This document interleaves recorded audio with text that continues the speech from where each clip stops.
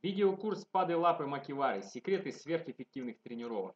Поставь себе нокаутирующий удар, получи сверхэффективную комбинацию, а также узнай отличный комплекс по физподготовке. Ссылка в описании под видео.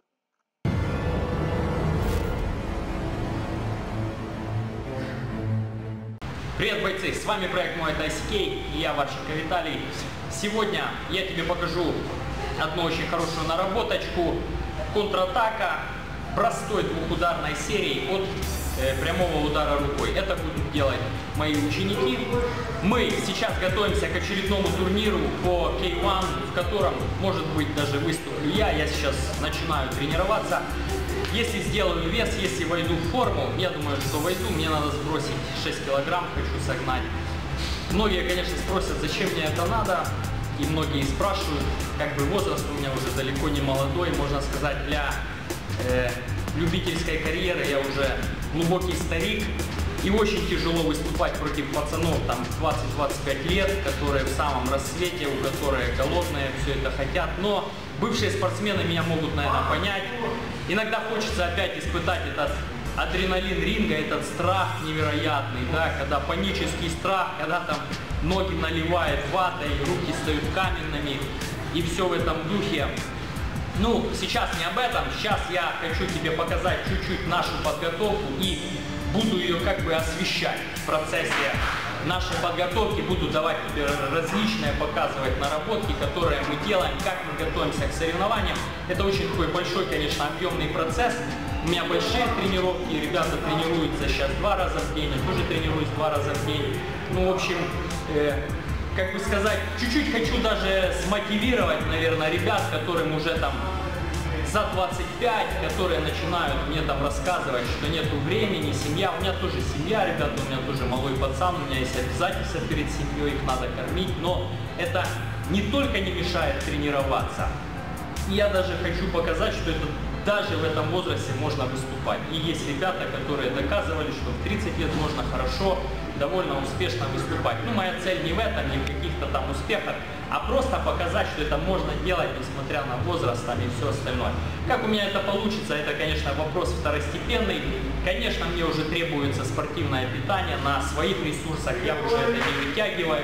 Но надежда у меня все-таки на своих ребят, и я готовлю к этому мероприятию, к этому турниру. Мы дальше готовимся. Кстати, с вашей поддержкой, я думаю, все мы хорошо подготовимся. Если есть желание помочь, мы будем только благодарны.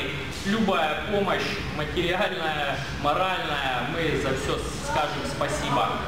Поэтому смотри эту наработочку, я, мы покажем ребята ее в парах и потом покажем ее на мотиварах.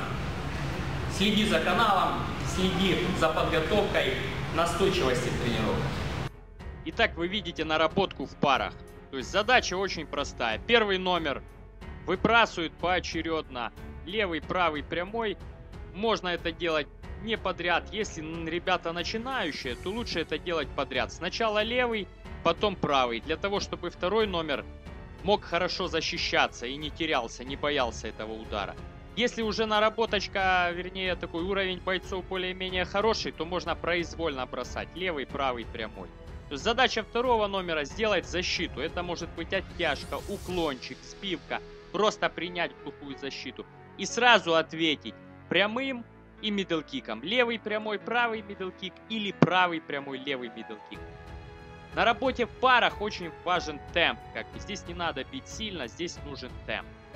И сейчас эту же наработочку мы переходим на макивары. Здесь уже задача патмена выбрасывать прямые. Точно так же.